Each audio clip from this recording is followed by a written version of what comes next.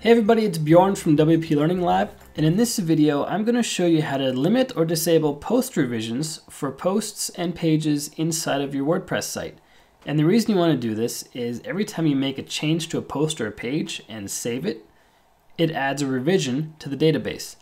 So if you are updating your posts and pages a lot and you have a lot of posts and pages, you're going to have a lot of information in your, in your database that doesn't need to be there that's causing it to be bigger than it should and that's causing it to run slower than it should. In general, I find having three revisions available, so the last three times you saved it, in other words, the last three changes you made and saved, those revisions are available to revert back to. I find that to be a great number.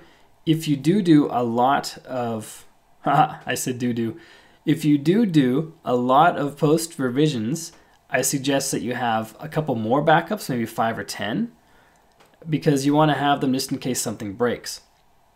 So I'm going to show you to do this right now via the WP config file. If we log into our hosting account, we're using HostGator for our demo site. And you find the file manager option and you open the document root for the website that you're working on. And you can also do this via FTP if you're more comfortable in FTP.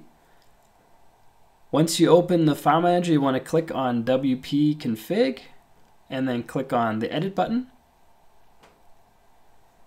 And anywhere above where it says,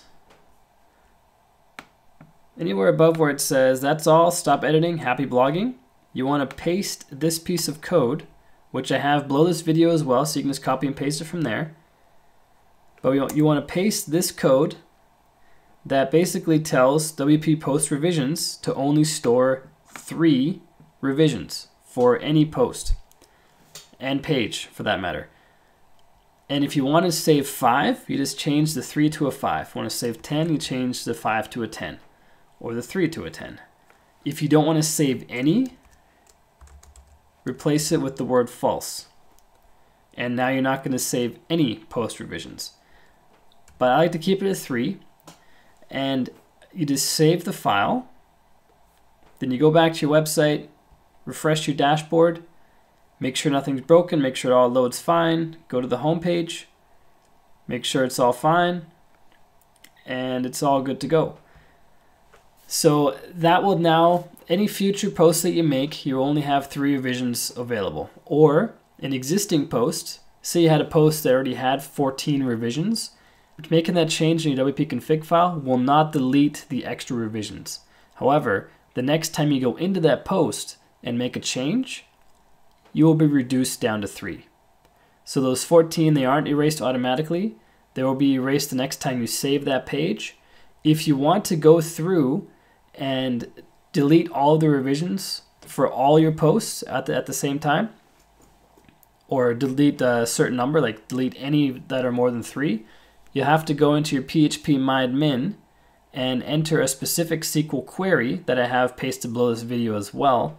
You enter that query and it will delete all the posts or all the extra revisions on all your posts and pages and then you'll have a much smaller WordPress database that's going to run a lot faster.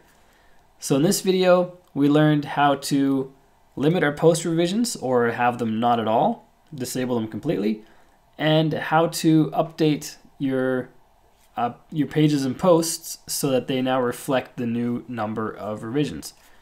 I hope this video helps you. My name is Bjorn Allpas from WP Learning Lab. Please make sure that you share this video, like this video, subscribe to our YouTube channel, and check out WPLearningLab.com where we write about WordPress every single day. Talk to you soon.